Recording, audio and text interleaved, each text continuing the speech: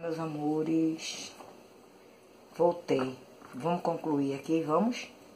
Então, uma coisa que eu só percebi agora, meus amores, é que nesse projeto da taça não tá falando a cor dessa parte dourada. Foi um erro nosso, tá?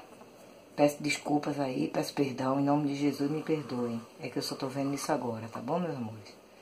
Vamos lá, eu vou usar. Vou deixar bem claro aqui para vocês entenderem. Na parte dourada, tá, meus amores? Amarelo ouro, siena natural, cerâmica, sépia e branco, tá bom? Começo sempre com o amarelo ouro. Deposito e estico, tá, meus amores? Simplesmente pintar normal, tá bom?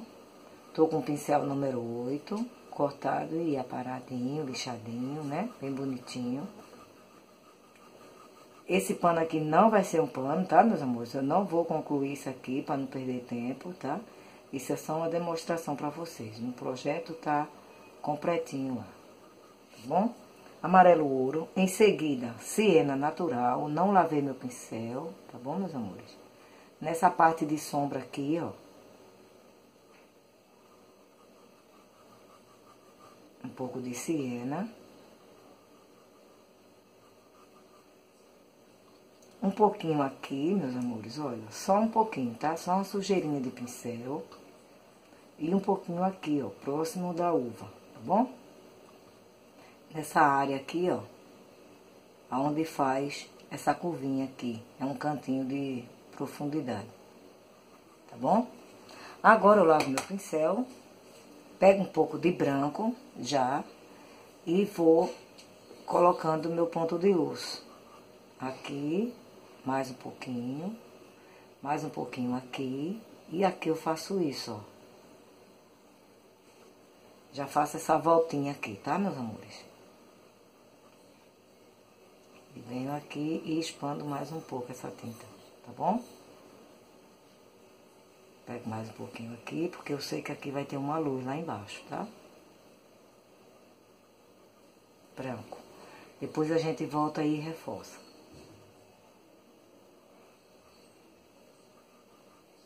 Certo?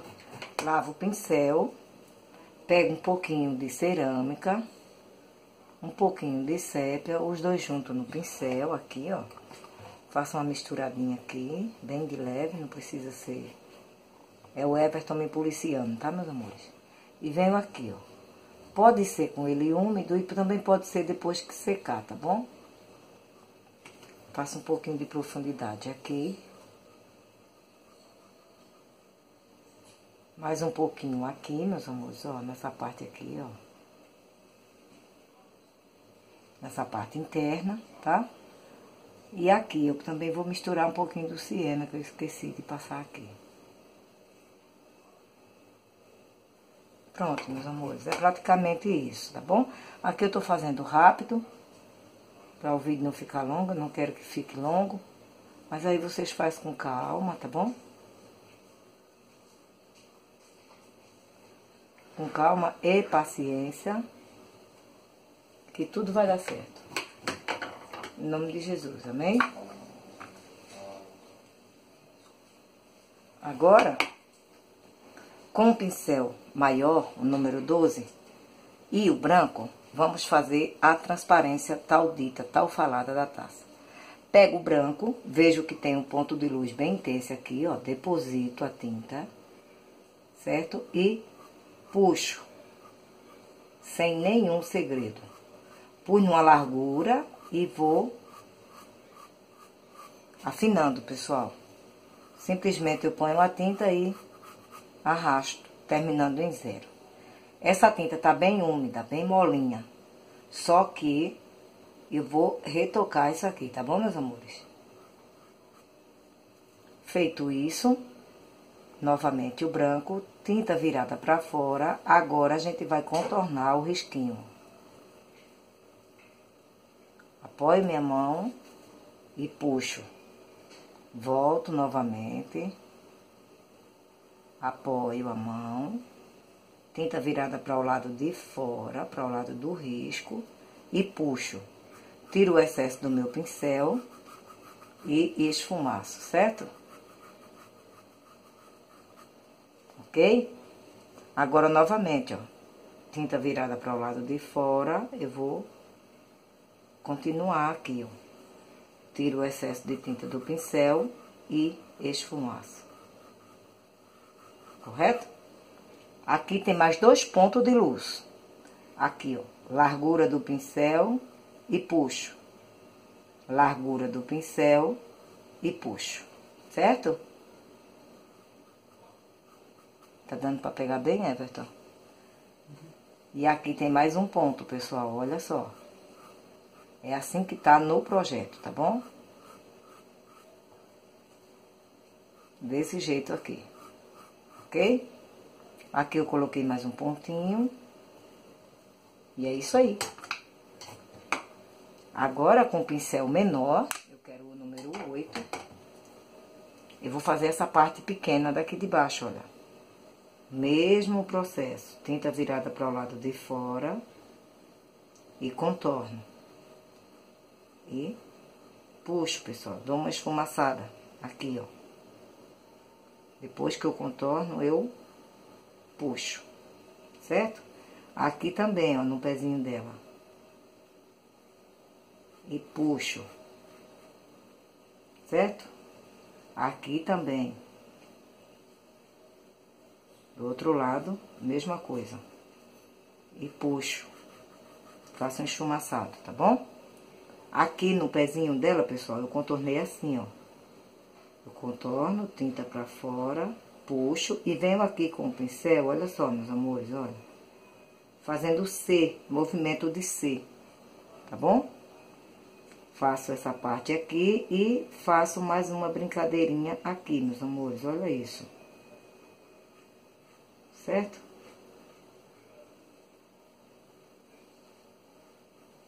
É isso aí, tá bom? Aqui também do outro lado, meus amores, olha. Contorno.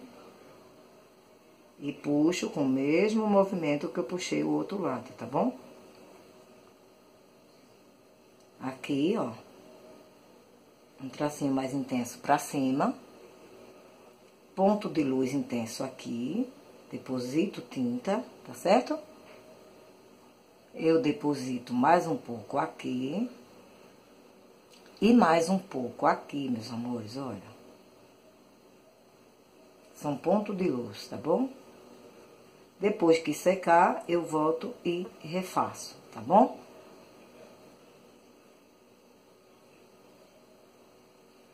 Aqui já dá pra refazer, ó. Já tá quase seco, tá bom?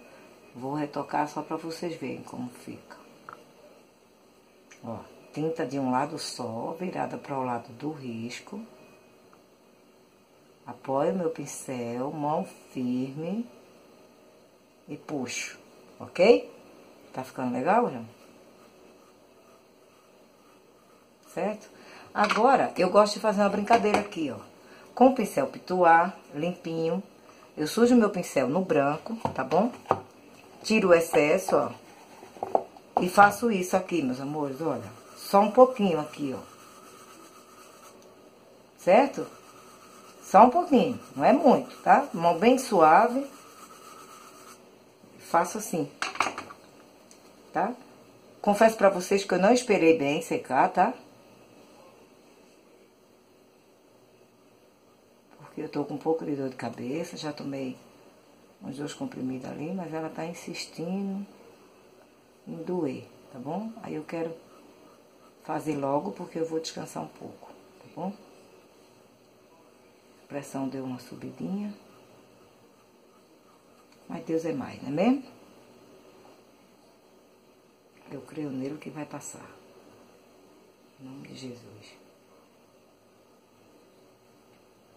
Tá vendo, meus amores, a importância de retocar um trabalho? Olha isso, ó. Ó, né? Fica diferente. Não tenham preguiça de retocar. Retoquem sempre, tá bom? Vou parar por aqui. Espero que tenha dado para vocês entenderem.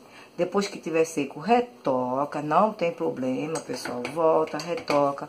Vale a pena retocar um trabalho, porque faz uma diferença tão enorme que vocês não têm noção. Tá? Mais um pouquinho de branco aqui, ó. Ok? Ficou bom aí? Eu quero mandar um abraço todo especial para minha amiga Márcia. Eu esqueci o sobrenome dela, mas ela sabe quem eu estou falando.